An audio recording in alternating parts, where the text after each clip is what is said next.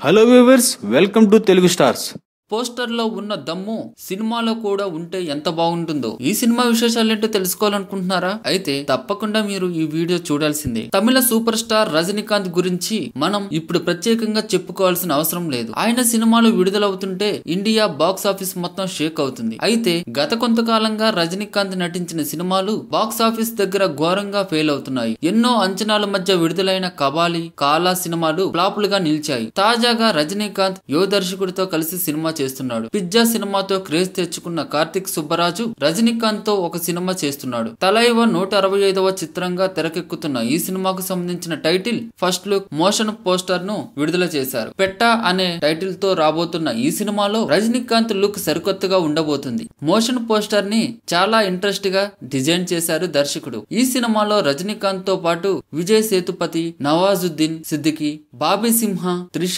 సిమ్రాన్ వంటి తారలు కనిపించనున్నారు. అనురుద్ ఈ సినిమాకు సంగీతం అందిస్తున్నారు. సినిమా పోస్టర్లో ఉన్న దమ్ము సినిమా కథలో కూడా ఉంటే బాగుంటుందని ఆయన అభిమానులు ఆశిస్తున్నారు. For more interesting movie updates please subscribe Telugu Stars.